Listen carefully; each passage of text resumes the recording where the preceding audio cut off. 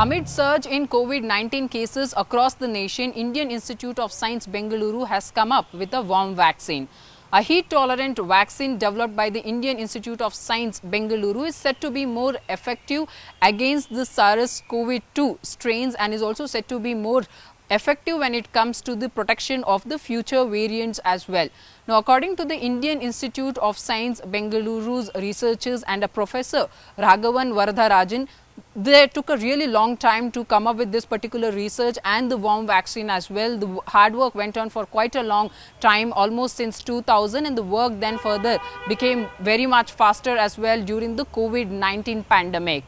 Now, what really stands out of this warm vaccine is that as per the research paper that is out now, this particular report claims that if warm vaccine is really uh, taken forward seriously, then it is very effective as well because it can be stored at a room temperature, need not to be stored mandatorily in a cold storage. So, this can be stored in a room temperature for at least a month is what this report is claiming and further we do know that most of the vaccines that are out in the market regarding the COVID-19, they all need to be mandatorily stored in a cold storage. So, this is what really stands out of this warm vaccine is what this report is saying. But if we try and understand that how did the researchers actually basically come up with this concept to therefore go ahead with this uh, effort as well, then let me just try and read out what it really says in its research is that, so the researchers basically selected two parts of SARS-CoV-2 spike protein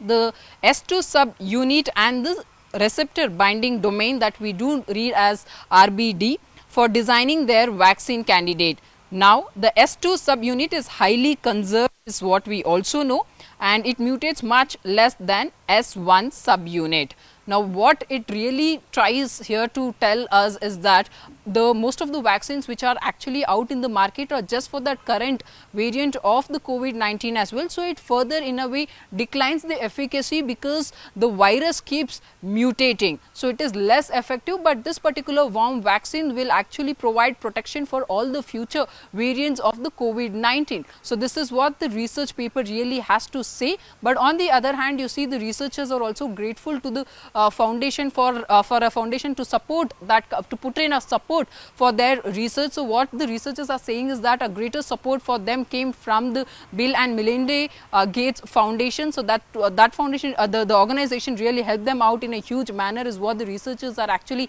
stating as well. But lastly you see what uh, the researchers here really have to claim is that if this particular warm vaccine is taken up very seriously then it would further help in the costing production also in a storage and this is hence very economical as well.